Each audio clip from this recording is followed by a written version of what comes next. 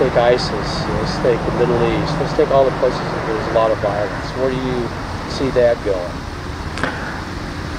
I think I see all those things as problems that our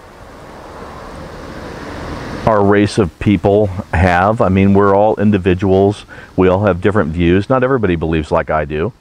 A lot of people believe that there's so many different beliefs out there that it's hard to put it, put everybody in the same um, corner and say, okay, this is the way it's going to be. Uh, this is the, what we're supposed to be doing. Uh, I think that there's people like like you and me, for example, who want to make a difference somehow, even on a small level, and that's where it all really starts. Uh, people in there are people out there that are going to want to kill other people.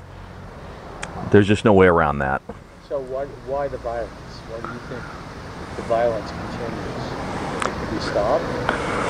Uh, I, I, I don't think it can. I think that there'll always be a level of violence, and I think that we can only strive to end that violence. It's it's a progress. It's not. We're never going to reach perfection. It's always going to be a progress going forward, and I think that's enough for our race. You see that in other species as well. You know, not just human beings. You see, you see it in all kinds of animals, and they they weed each other out. They this is bad, this is good. They clash, uh, and they hopefully the right thing comes out. But if it doesn't, then we still move on. It's happened for centuries and centuries in our human be- human beings being on this planet. It's just the way we are.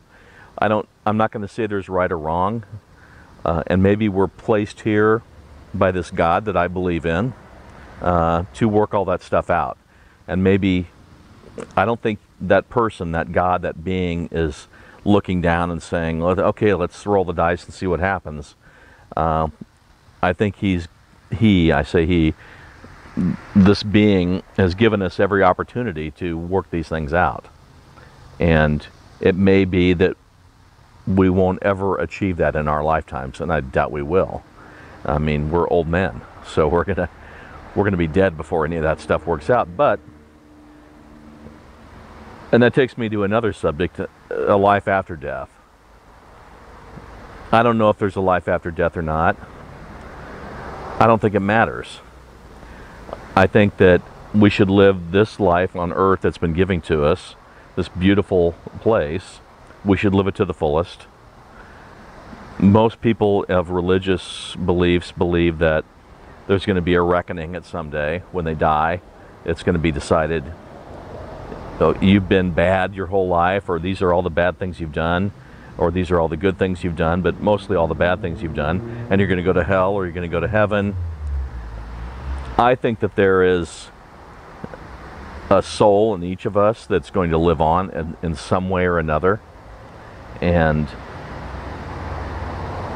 I think our goal, since we're here now in the now, we should live our life to the fullest as it is right now and be as good and as help everybody as much as we can. Uh, and I think that whether or not, I mean, that's the whole moral issue.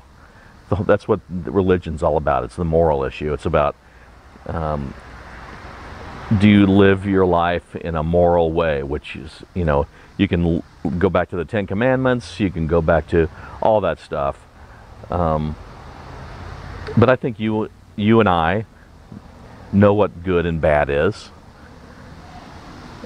And I think that we try to live our lives ultimately in as best as we can with the stuff that we're given. Um, and there are a lot of people that are so much worse off than me. I mean, I can't even imagine that there's that they're they don't have a place to live or they don't have any food to eat or they can't feed their kids, which is even worse or uh,